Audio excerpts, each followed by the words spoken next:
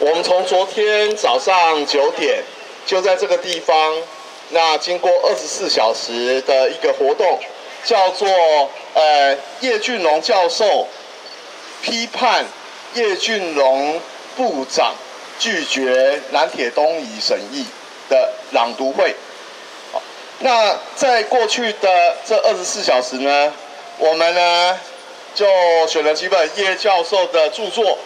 这些书籍以及文章，他们其实都非常强烈的传送一个讯息，就是一个民主宪政的国家，必须要有一个完整的行政程序法，以及这个行行政程序法里面有一个程序叫做行政听证，必须要完备，才能够避免行政滥权，然后造成人权的侵害，甚至。伤害了公共利益，造成营私舞弊，然后呢，贪污腐败。但是，当我们看到叶俊龙教授，他变成叶俊龙部长的时候，他的所作所为却完全不一样。法律界以及学术界、社运界都对于内政部强闯南铁东一案的都市计划，然后不给。我们这些老百姓一个卑微的诉求，我们要求停任停任这样的诉求，都表示非常大的批判。在这样子的时空背景之下，叶俊龙教授，他叶俊龙部长，他紧急去通过了一个叫做行政听证作业办法。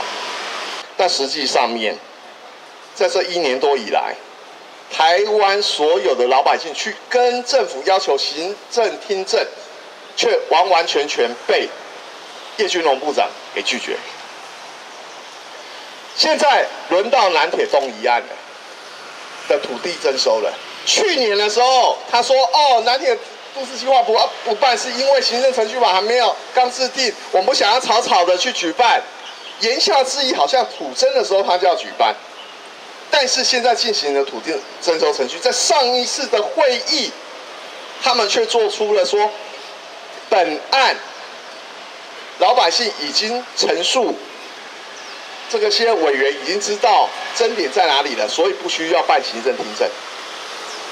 这是第一个结论。第二个结论，他们说，因为老百姓所提成的证据，铁工局那一天的会议上面是完完全全没有办法辩驳的，所以这些委员要求铁工局要补资料。不，我们去质疑这个案子，我们有列一个表格，包含它的征收面积、拆迁面积、它的交通安全，然后它的施工的安全、交通的影响、经费、工期诸如此类等等。他们要求委员要求铁工局必须要补这个资料，然后才召开第二次的审查会议。但是在一个多礼拜以前，我们收到这个会议记录的这个会议的决议的时候，没有多久，我们就收到了这个会议的通知。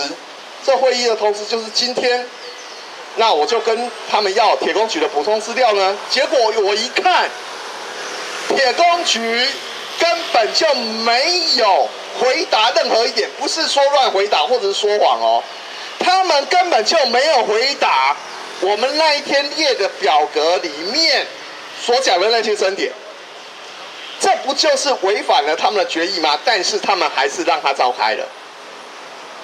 我们长期以来，我们都把土地征收误导，政府都故意把它误导，误导成只是金钱补偿的课题。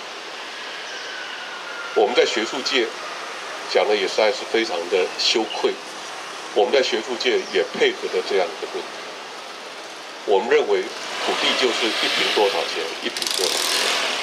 我们忽略了土地其实是他们安身立命的家园，土地是他们生存的依靠，土地是他们人性的一个尊严的一部分，而且是非常重要的一部分。今天如果没有经过一个正当行政的程序，就剥夺他们在宪法上所保障的基本权利，这如同是在判处他们死刑啊！如同在判处他们死刑。但是我要问各位，他们又犯了什么样的罪呢？我们希望台湾社会能够警醒，能够深刻的一个了解，土地征收，土地绝对不是只是金钱一平多少钱，那是对于财团而言，对于那些派系，他们为了要赚钱。而且他们炒作的不是自己的土地，他们拿这些善良老百姓，拿他们的土地来进行炒作，来遂行他们的一个目的。但是我们的政府呢？我们政府站在哪一边呢？本来应该站在我们这一边的，来保护我们善良的老百姓，根据宪法来保障我们的。我们的政府竟然卸责了，不止卸责，他是站在财团、站在派系那一边，协助他们来剥夺。站在各位前面的这些人民，他们的基本的生存，他们的土地，他们的家园。